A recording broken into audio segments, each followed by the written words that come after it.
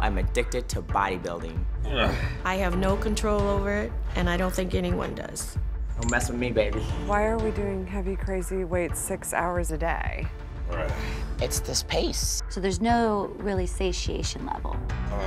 I love doing it. I'm not gonna stop. I suck my thumb pretty much everywhere I go. It kind of makes me feel important. We're in public, it's kind of weird. I, I just get just very strange looks from people. I'll take the blanket, wrap it around my finger, and uh, suck my thumb. You want to smell it? No, doesn't need to be smelled. It needs to be thrown away. The thumb sucking is a is a coping skill. Sorry.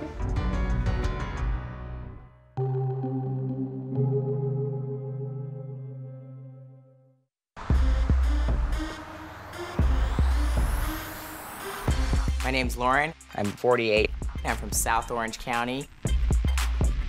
I've been a professional skateboarder, a surf instructor in Hawaii, a firefighter engineer, and now I'm addicted to bodybuilding.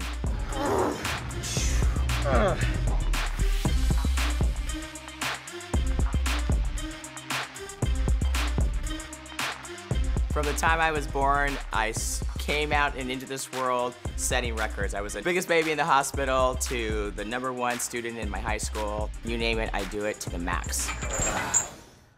I think she's gone too hard her whole life with everything. I have no control over it, and I don't think anyone does.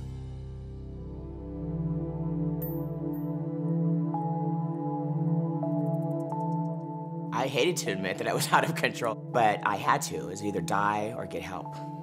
It was that extreme. I went through rehab, I did the program, I found something else to consume me and my energy, my efforts, and it was health and fitness. She was like a size four, very petite. Now she looks different from everyone else because she's taken it to the extreme. When people work out vigorously, they may be breaking muscle down in the process of working out. And so when that muscle gets broken down, they're releasing proteins in their body. You follow that by a bunch of protein supplements, you're taxing the kidneys, and something like that could potentially lead to the kidneys shutting down.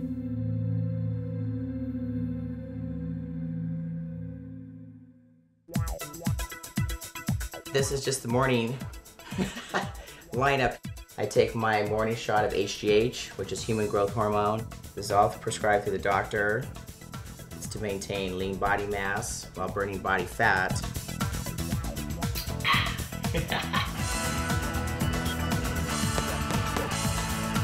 Start in the morning, I train as long as I do, and I never get enough. And I want to live there.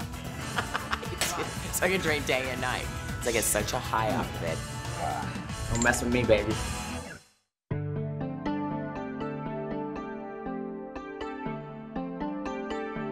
This last week, I went back to Muscle Beach.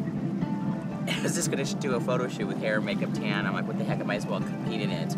The promoter had asked me two days prior. So I'm like, all right, won the heavyweight. Two days Two prior. days prior. For My compa- competition. yeah. and of course, I got first place in heavyweight, first place in masters, and then I won the overall championship. I am a dichotomy because it's, I, I'm girl, but I look strong, so I have male characteristics. I actually had a nodule on my uh, vocal cords. It's benign. It may have enlarged from growth hormone. I don't know.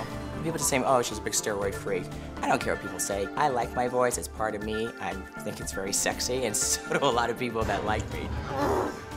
Whether it's addiction or not, I cannot and will not stop bodybuilding.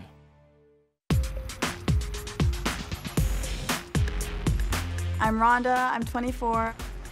I live in Richmond, Virginia, and I'm addicted to sucking my thumb.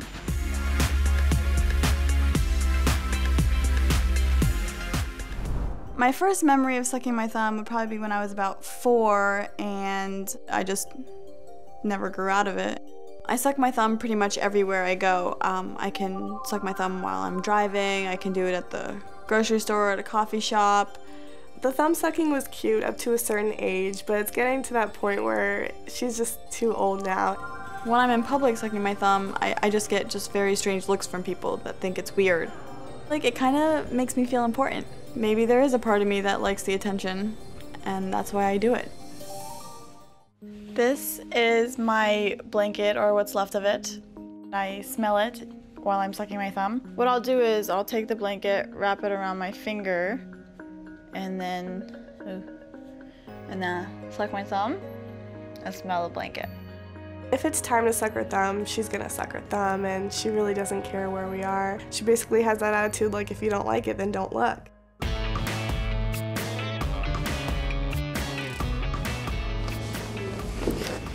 Are you really sucking your thumb right now? We're like in a public store. Yeah, I mean, do you have a problem with it? I mean, it's kind of embarrassing. You're my older sister and you're sucking your thumb. I only suck my left thumb, and after a few hours, it looks like, you know, when you were in the water for too long and your hands get really crinkly? That's how my thumb looks. Just the, the, the fact that the thumb becomes wet over time, the whole nail bed can start to fall apart, and people can develop even yeast or fungal infections, and even have ulcers that can develop on their extremities as a result of this. I think when I was more stressed out was when my parents were getting divorced. So I think it resulted more into sucking my thumb because it was more comforting for me because that's really all I had at that point. I do feel like I get sick a lot more than the average person, probably because when I do suck my thumb, I don't wash my hands or anything like that. She's getting at that point where she's gonna have a career and hopefully settle down and get married. Is she gonna be sucking her thumb at the same time as her baby? I just think that's a little ridiculous. When I'm at work, I will suck my thumb during the day if I'm feeling like stressed out. My career goals are to be living in New York, working on Wall Street, but I don't think that sucking my thumb is gonna stop me at all. Are you ever gonna stop sucking your thumb? Why does it matter to you? It's not like it's hurting you. I can't even understand what you're saying right now. I don't think that sucking my thumb is a big problem. I don't think I'm hurting anybody by sucking my thumb, so therefore I'm probably not gonna stop anytime soon. I have waived being a mother, so I don't have children. I have waived being a wife, I don't have a husband. I just remember all the things that you had to miss. You gotta lose that blanket, it's embarrassing. You don't need it, you're an adult. But I'm not ready to let go.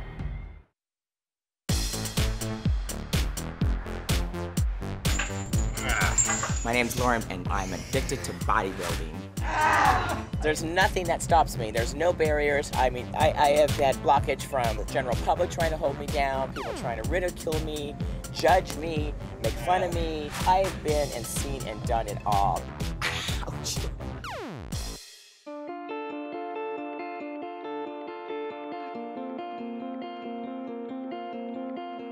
These obsessions of mine have not been easy for me as far as my personal life. I mean, I'll be the first to admit it has suffered. I have waived being a mother, so I don't have children. I have waived being a wife, I don't have a husband. Personal relationships are hard to keep. It really became an obsession with Lauren. I mean, she really became addicted to it and had to do it every day. The way you had to throw yourself into it, I mean, it was so much work. You think? It was, Hello? We, we couldn't do anything. You had no time. You were just at the gym all day, every day. Couldn't the go out to dinner. How about that food dieting? Oh, that was terrible. That's some nightmare. That was so terrible. I don't know how you social did it. When we'd all go out to dinner, you were on your special diet, or you bring your little piece of broiled chicken. That's right. Half a sweet Oh, potato for dessert. I just remember all the things that you had to miss. That's You right. know, all the social train, events that we did and you didn't get to go. Nothing's changed. Nothing. I do worry about Lauren um, being so vested in this because she works so hard, and I know she's just burning the candle at both ends. I'm Rhonda, I'm 24, and I'm addicted to sucking my thumb. I, I think people make more of a big deal out of it than it really is. I mean, right now I think it's more embarrassing for the people that are with me than anything else. Hello guys, welcome to Putt Putt. Hey, how you doing? how are you? I'm fine. How are you guys doing today? Good. I met Steven my freshman year of high school, and he definitely had a lot of jokes towards me about sucking my thumb, and he definitely shared his opinion very openly about what he thought about it. Rhonda's thumb sucking back in high school was like kind of cute, but now it's getting kind of ridiculous, kind of crazy. She's an adult. She needs to get rid of it. See, watch this. I can do it with my thumb in my mouth. Uh, you better not. See, I can multitask. yeah, but you wouldn't have to. You just got two hands. Maybe if you lose the blanket, you lose a thumb. You want to smell it? No, you've had that thing for too long. You don't watch it. No, I'm, I'm good. No, I don't. I don't want to smell it. It doesn't need to be smelled. It needs to be thrown away. I have never smelled the blanket, and I will never smell the blanket. You gotta lose that blanket. It's embarrassing. You don't need it. You're an adult. What if you stop sucking your thumb? But I'm not ready to let go. But it could stop you from getting a job or finding someone. Well, if that were the case, then you know, then I would think about it some more. Have you ever thought about like talking to somebody or seeing somebody, therapist, hypnotist? Don't you think talking to them could like release your feelings and I, I've crossed the idea. I think it would be kind of interesting to see what their thoughts are on it. well, think about it. I'll keep it in mind. Honestly, in 10 to 20 years, I hope to be married and, you know, have a family. I don't want to be sucking my thumb because it's, it's not something that, you know, to be proud of. At what point are you finding time, For me, yes, for, for you? With your parents' divorce, how was that for you? Oh, no, let's not talk about that. My name's Lauren, and I'm addicted to bodybuilding. Of course, people have been concerned about me because everything I do is so full on and extreme. So, from sports to drugs and alcohol, I do it big. I don't know any different.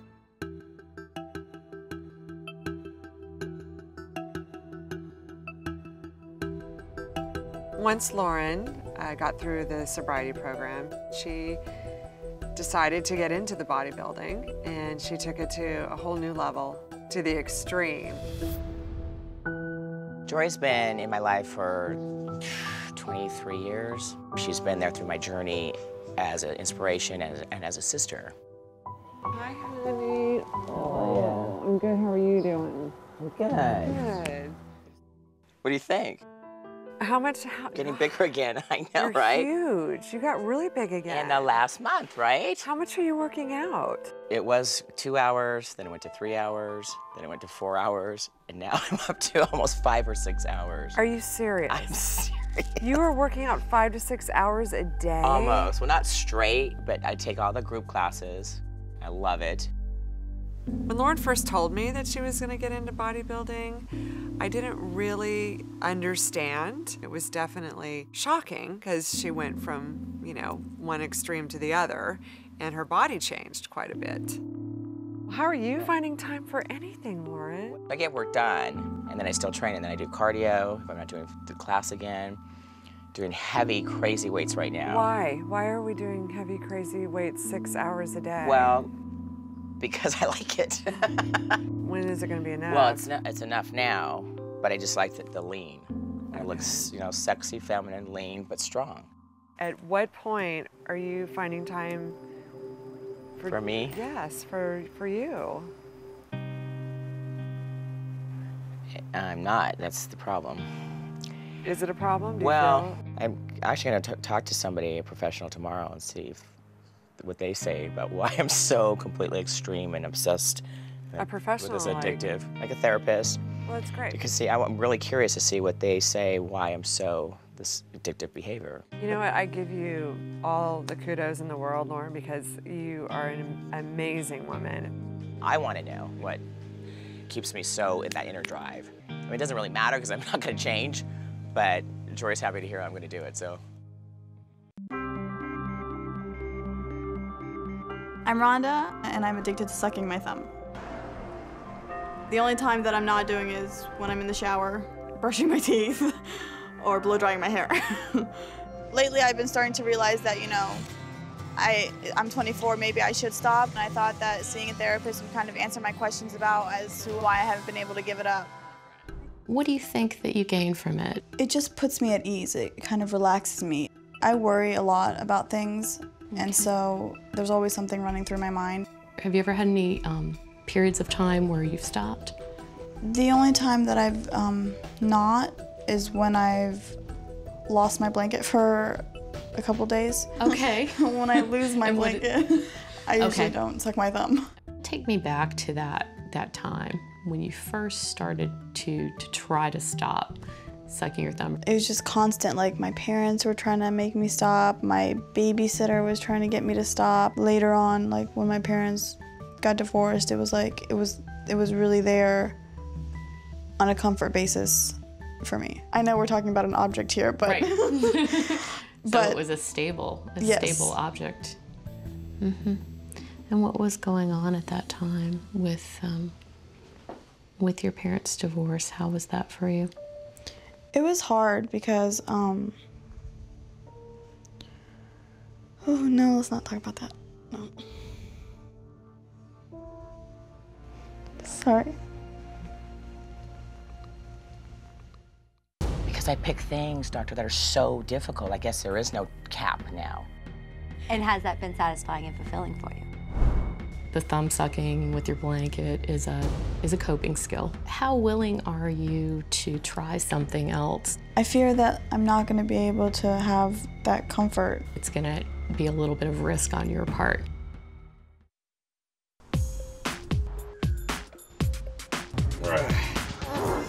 My name's Lauren, and I'm addicted to bodybuilding. I'm just about to go in to see a psychologist for the first time to discuss my addictions and certainly why I'm so addicted to bodybuilding. I'm a little anxious about it. I've never done this before. Are there days when you think, oh, I'm tired today? People are worried that I don't rest or I don't relax. You know, I make a joke that I missed that day in school when they taught the word moderation.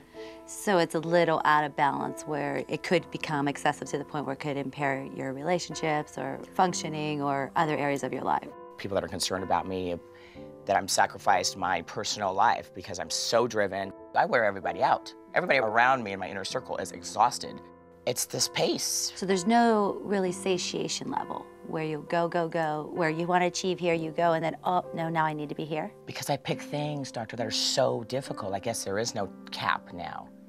Because when I- With Lauren, her ability or her desire to achieve and overachieve sometimes can be indication that it's never going to be good enough. And that's where addiction can then take over and her life will become unmanageable. Some people have the misperception that if I slow down, that I won't be as powerful or I won't be as successful. And the opposite of that is true because the more calm you are, the more effective you will be. And that's that's true. I prove that. When I sleep and I get yes, I come back that much stronger.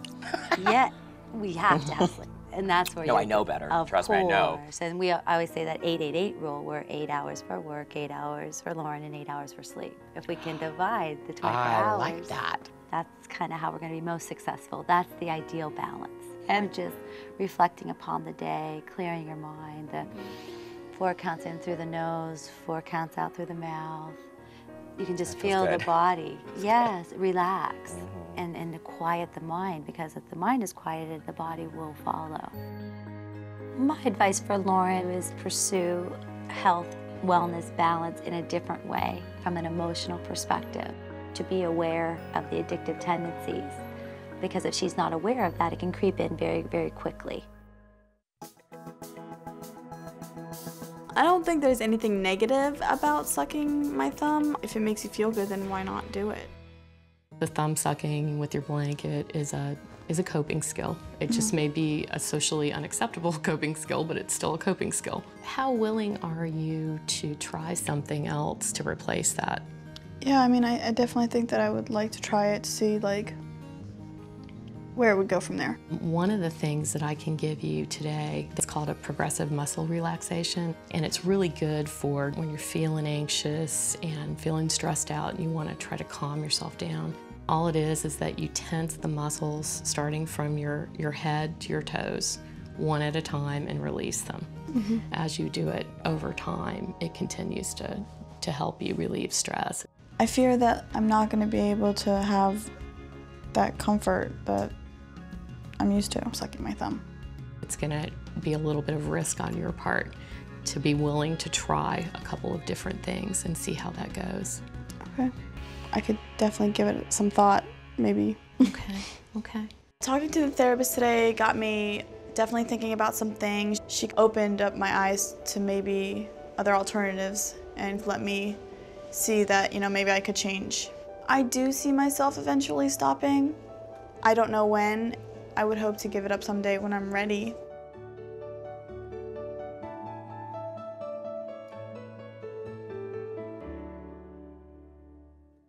I mean, the challenge will be, and the goal for me from this day forward would be to manage my time more effectively, to still do my bodybuilding, just spending a little bit more time with my personal friends, a little more time with myself.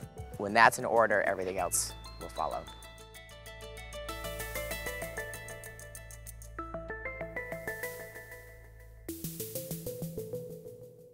If somebody told me that I couldn't work out and now your training days are over, you might as well take me out back and shoot me. I can't imagine not being physical. I treat my body like a temple. I work hard, I train hard, I live hard. I'm dedicated to my body and my physique. And the general public can be very cruel and very hurtful. I look this way because I want to, and I do it for a reason, and my reasons are strong, and I'm very passionate about why I work so hard.